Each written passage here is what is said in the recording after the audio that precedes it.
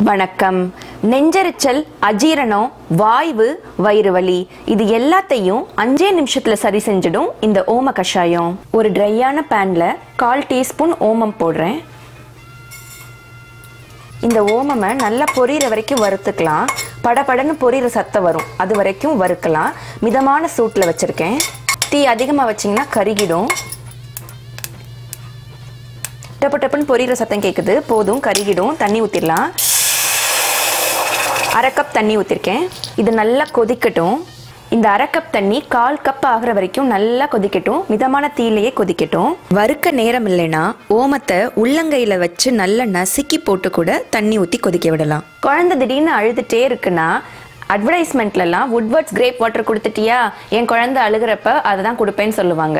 ஆனால் எங்கள் பாட்டிலாம் இந்த ஓமத்திரத்தை தான் ஒரு பாட்டிலில் அடைச்சி வச்சுருப்பாங்க. யார் அழுதாலும் அவங்க வாயில் ஒரு முடி ஓமத்திரத்தை ஊற்றி விட்டுருவாங்க. அப்புறம் அஞ்சு நிமிஷத்தில் குழந்தைங்க விளையாட ஆரம்பிச்சிருவாங்க. இதை ஆறு மாத குழந்தையிலேருந்து கொடுக்கலாம். ஆறு மாதம் வரைக்கும் குழந்தைக்கு தாய்ப்பாலே போதும். குழந்தை அழுதுச்சுன்னா அம்மா இந்த ஓம கஷாயத்தை குடிச்சிட்டு பால் கொடுத்தாங்கன்னா சரியாயிடும். ஆறு மாதத்துக்கு மேலே குழந்தைக்கே டைரக்டா இதை கொடுக்கலாம். சின்ன குழந்தை ஏழு எட்டு மாத குழந்தையா இருந்தால் அரை டீஸ்பூன் தண்ணி கொடுத்தா போதும். எட்டு மாதத்துக்கு மேலே ஒரு வயசு வரைக்கும் ஒரு ரெண்டு டீஸ்பூன் வரைக்கும் தண்ணி கொடுக்கலாம். ஒரு வயசுலேருந்து ரெண்டு வயசு வரைக்கும் ஒரு டேபிள் ஸ்பூன் தண்ணி கொடுக்கலாம். ரெண்டு வயசுக்கு மேலே நம்மள மாதிரியே கால் கப் இந்த தண்ணி குடிக்கலாம். மாசமாக இருக்கிறப்போ வர நெஞ்செரிச்சலுக்கு கூட இந்த ஓம தண்ணி ரொம்ப நல்லது. ஆனால் ஓமம் கொஞ்சம் சூடுன்றனால மாசமாக இருக்கிறவங்க அடிக்கடி இதை குடிக்கக்கூடாது. வாரம் ஒரு தடவை ஒரு கால் கப் குடிச்சுக்கலாம். அதே மாதிரி பெண்களுக்கு மாதவிடாய் காலத்தில் வர வலிக்கும் இந்த ஓமம் நல்லா கேட்கும் பால் கொடுக்குற தாய்மார்களுக்கும் நல்ல டைஜஷன் ஆகும். ஓமம் சாப்பிட்டா பாலும் அதிகரிக்கும்னு சொல்லுவாங்க. அவங்க வயிற்றில் இருக்க புண்ணு ஆடுறதுக்கு எல்லாத்துக்குமே ஓமம் நல்லா ஹெல்ப் பண்ணும். நார்மலாக இருக்கிறவங்களும் நிறைய சாப்பிட்டுட்டு திணறப்போ இந்த ஓம கஷாயத்தை குடிச்சா நல்லா டைஜஸ்ட் ஆகிடும் சில பேர் பர்கரு பீஸா அது இதுன்னு சாப்பிட்டுட்டு டைஜஷனுக்காக பெப்சி கொக்கோ கோலான்னு குடிக்கிறேன்னு சொல்லுவாங்க. அவங்களுக்கு அட்வைஸ் பண்ணுறோம் பேர் வழின்னு. கொக்கோ கோலாலாம் பாத்ரூம் கழுவ தான் யூஸ் ஆகுதுன்னு சொன்னால் பாத்ரூமையே க்ளீன் பண்ணுது. என் வயிற்றை க்ளீன் பண்ணியாதா? அப்படின்னு நக்கல் வேற அடிப்பாங்க.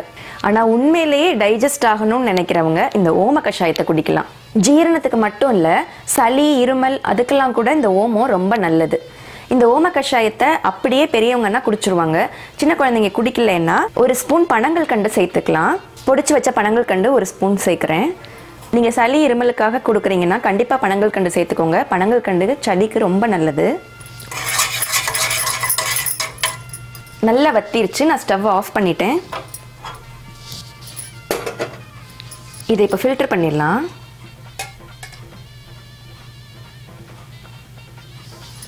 நம்ம ஓமத்திரம் ரெடி ஆயிடுச்சு ஓம தண்ணியை தான் திரவ நிலையில் இருக்கிறனால இதை ஓம திரவம்னு சொல்லுவாங்க. அதுவே திரிஞ்சு திரிஞ்சு எங்கள் ஊர் பக்கம் ஓமத்திரம்னு சொல்லுவாங்க. இனி அஜீரணம்னா கடையில் டைஜின் மாத்திரை வாங்கி சாப்பிடாதீங்க. வீட்டில் இந்த ஓமத்திரத்தை செஞ்சு குடிச்சு பாருங்கள் இதை குடிச்சும் கேட்கலைன்னா அப்புறம் இங்கிலீஷ் மெடிசன்ஸ்க்கு போங்க. டாக்டரை போய் பாருங்கள் எங்கள் பாட்டி எப்பவுமே அவங்க தலைமாட்டு பக்கத்துலேயே இந்த ஓமத்தர பாட்டிலை வச்சுருப்பாங்க. எனக்கு கல்யாணம் ஆகிற வரைக்கும் எனக்கு வயிறு வலினா உடனே எங்கள் பாட்டிக்கிட்ட போய் இதை வாங்கி குடிச்சிருவேன்.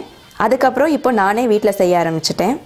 வயிறு வழின்னு அழுற குழந்தைகளுக்கும் கோக் வாங்குற கணவர்களுக்கும் இனி இந்த ஓமத்திரவத்தை அறிமுகப்படுத்துங்க. என்னோட லக்ஷ்மி பாட்டி எனக்கு இந்த ஓமத்திரவத்தை கொடுத்தாங்க. நம்மளோட சந்ததிக்கு இதோட மருத்துவத்தையும் மகத்துவத்தையும் சொல்லி கொடுக்க வேண்டியது நம்மளோட கடமை. நன்றி.